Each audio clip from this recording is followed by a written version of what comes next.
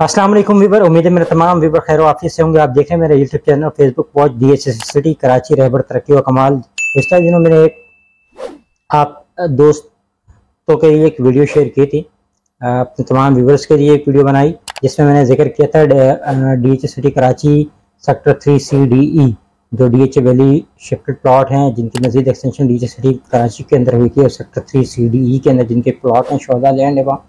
वहाँ पर डेवलपमेंट का आगाज़ बहुत जल्द होने वाला है और उसके बाद में टेंडर दिया गया था। तो वो वीडियो मैंने बनाई थी और टेंडर का मैंने बताया भी था कि डी सिटी ने ये टेंडर दिया जा रहा है और वहाँ पर सेक्टर थ्री सी डी के अंदर डेवलपमेंट का आगाज़ बहुत जल्द कर दिया जाएगा। तो अलहमदिल्ला वो दिन आ गया है। आप देख सकते हैं ये डी सिटी की ऑफिशियल जो फेसबुक पेज है, वहाँ पर ये एड लग गया है। अभी आप स्क्रीन पे देखिएगा ये एड डी सिटी कराची में ये पोस्ट शेयर की है कि डी एच सिटी कराची के अंदर sector three C D E के अंदर ग्राउंड ब्रेकिंग सेरेमनी होने जा रही है, आने वाले चंद दिनों में। हो सकता है कल हो, परसों हो, परसों कुछ कह नहीं सकते। लेकिन कोई डेट फाइनलाइज नहीं की, लेकिन ग्राउंड ब्रेकिंग सेरेमनी होने जा रही है sector three C D E के हवाले से। जिस तरह ग्राउंड ब्रेकिंग सेरेमनी हो रही है डेवलपमेंट का आगाज़ हो रहा है, अल्लाह करे हमारी तो दुआ है कि प्राइजेस भी इंक्रीज़ हों। गो के प्राइजेस अभी लो हैं इस वक्त बाइंग टाइम है सेलिंग टाइम नहीं है। मुल्की हालात के पेश नज़र इंटरेस्ट रेट भी हमारा ज़्यादा है और वैसे भी हमारे कुछ जो जो आप, हमारे लोन हैं, वो भी ना सऊदिया ना जो चाइना दोस्त ममालिक से रोड नहीं हो रहा है आई ने भी अभी तक हमें फंड रेज नहीं किया। तो जिसकी वजह से मार्केट में प्रेशर रहेगा। तो मार्केट में इस वक्त अगर हम कहें तो डी सिटी कराची के अंदर इस वक्त बहुत पोटेंशल है बहुत अपॉर्चुनिटी है।